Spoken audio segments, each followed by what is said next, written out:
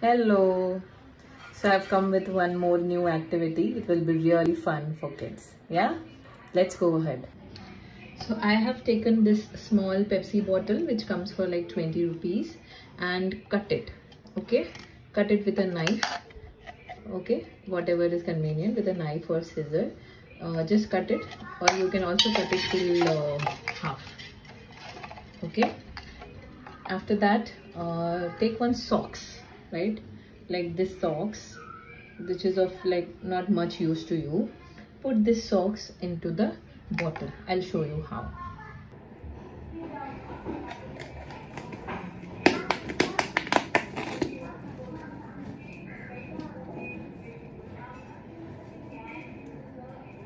If this uh, socks is a little loose then you can put a rubber here to make it a tighten up kind of my socks is not loose because it's a baby socks.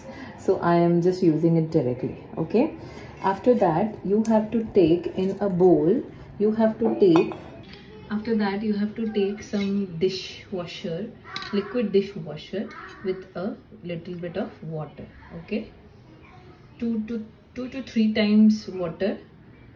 Ratio will be the liquid dishwasher is 10 drops then 40 drops of water.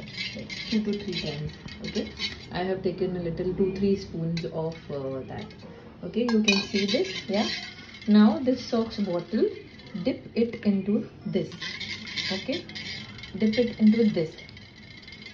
I have added a little color to the socks to add the fun. Now you start blowing it yeah from this bottle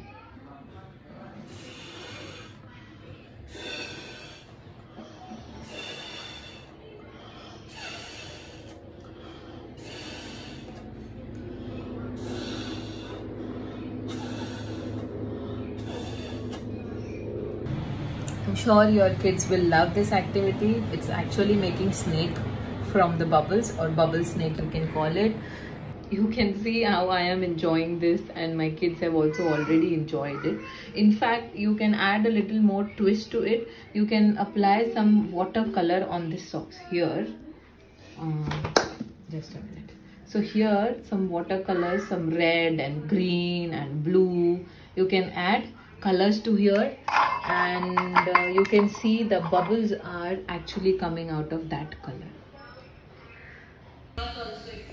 Do let me know in the comments whether you like this activity and you enjoy it with your kids